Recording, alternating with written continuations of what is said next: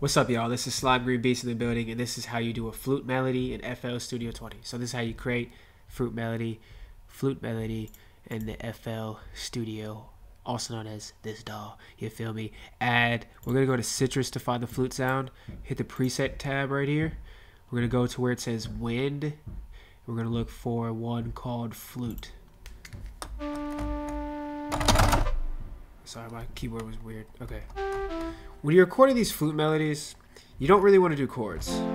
Chords doesn't really work with flutes as well as you would think. So when I do these flute melodies, I'm just kind of like.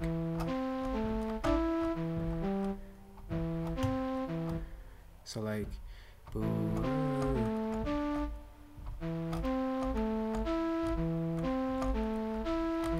And then like to figure out what BPM that's at. So like maybe that sounds like a 100. Watch. This is just like you just gotta practice that. No, that's even slower. So like 80 probably. Because you don't want to be too far like.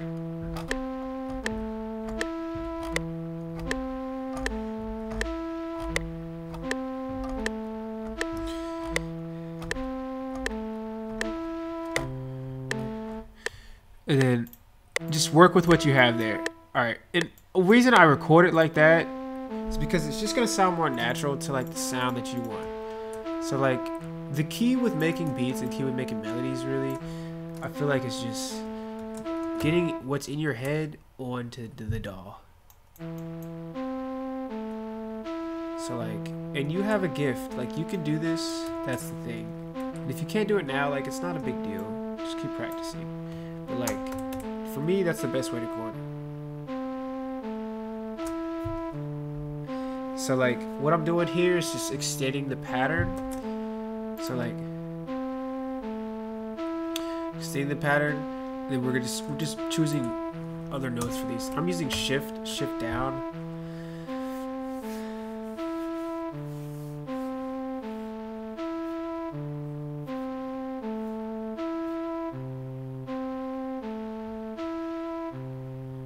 And then what we can do is like we can make this even longer and make this one like another one. Like and then don't be afraid to make a really long melody pattern. But just make sure it's rappable. That's also thing. So like at this stage of the beat or the melody, make sure what you have you can actually rap on.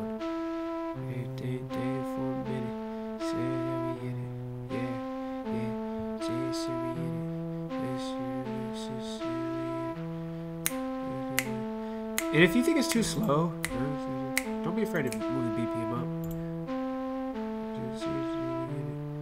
Yeah, see? And that's that's a prime example why you don't just cross ideals. I had it at that pace, I moved it up and it sounded weird. So that's why again it's important I feel like to record what you have what what you have and what you're playing naturally instead of like trying to fit it in a BPM.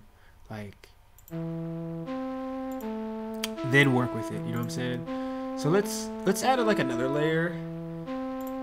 Go to plus. So let's clone this.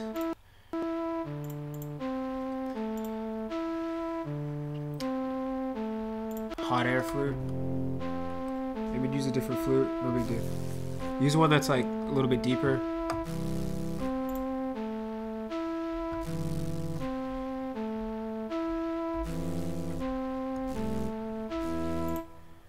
And just get get it. I start trying to record it quick as possible without losing the vibe.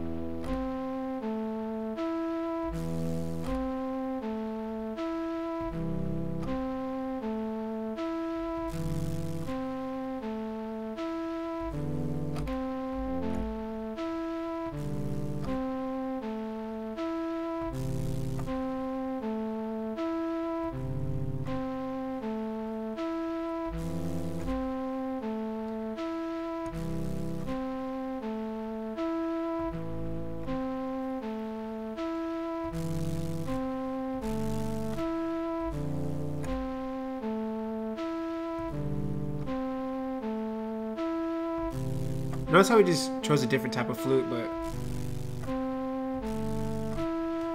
And it's cool. And it... I think I record this part poorly. That's fine, just... Just like that, easy. No big deal. This is just adding more sound to it, and... Maybe in here, just turn it down a little bit. I feel like this one's a little bit too loud. Let's bring them to the mixer too.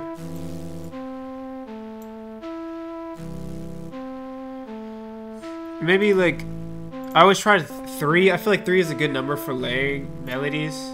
Maybe just try to add one more thing. Just, and you don't want to go. I kind of avoid the higher octave ones.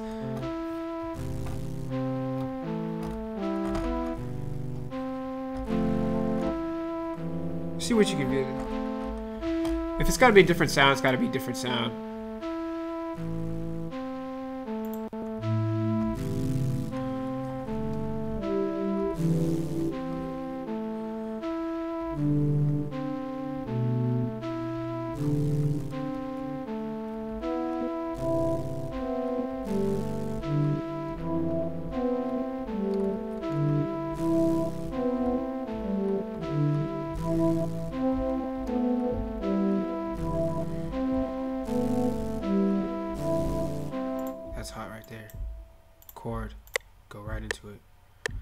Think about it too much. Just.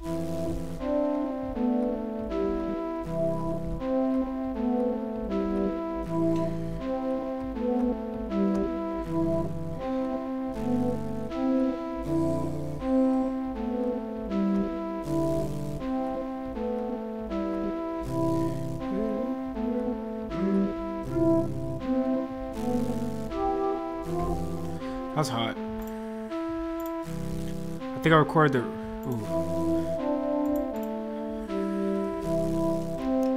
Okay, so also make sure you're recording on beat. I don't know if I mentioned that, but hopefully you did that so it records right. Now we're gonna make it sound more like what I wanted to record there. And I think I got this note wrong.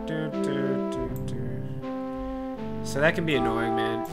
This part can be annoying, fams. Just the editing of individual notes, but you know, just start like creating melodies. You know, melodies just like some people say like melodies is not important, but like I I, I respectfully disagree.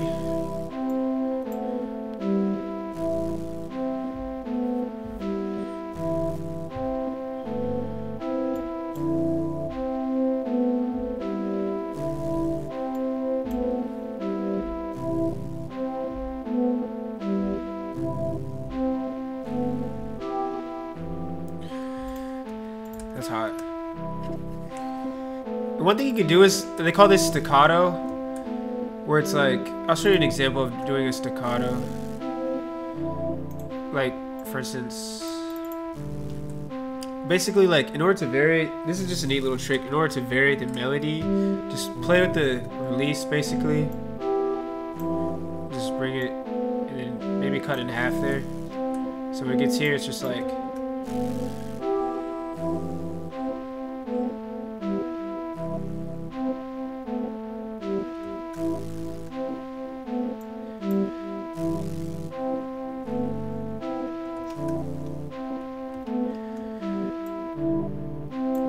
Opposite.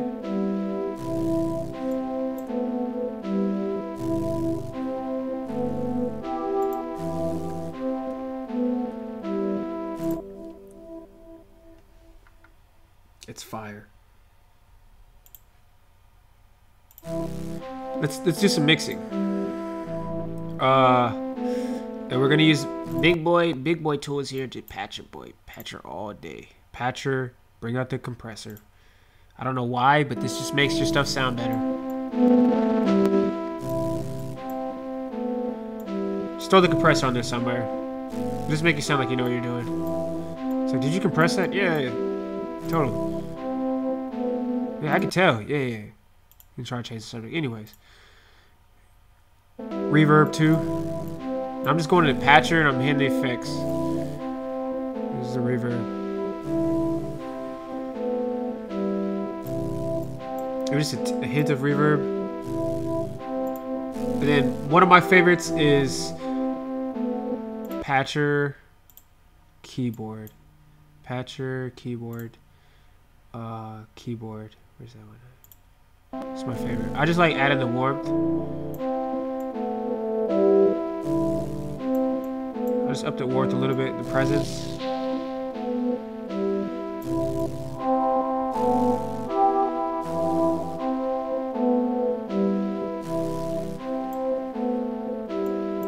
And then last thing you want to do is go to the limiter because um, you just don't want a melody that's that like loud.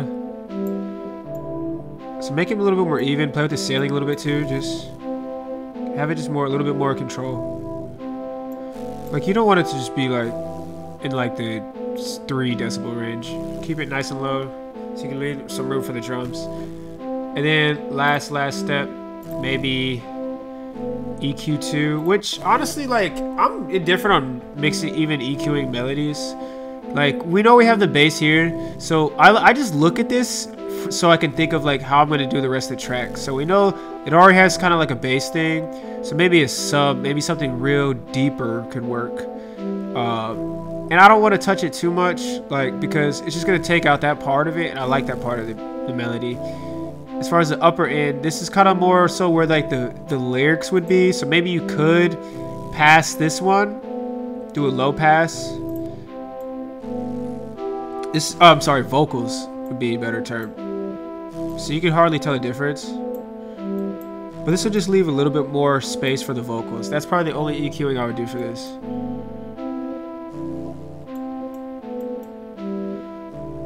But even then, you know, that's fine right there. And then also like keep playing with this till you get the sound you want. Maybe the ceilings look a little bit too much.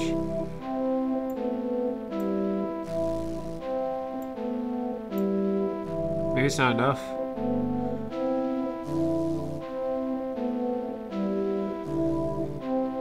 That's how you flute melody in FL Studio 20, guys. Thanks for watching. Be sure to hit that like button if you like this video. Subscribe for more videos. Shout out to the team, Slime Green. What to do. Peace out.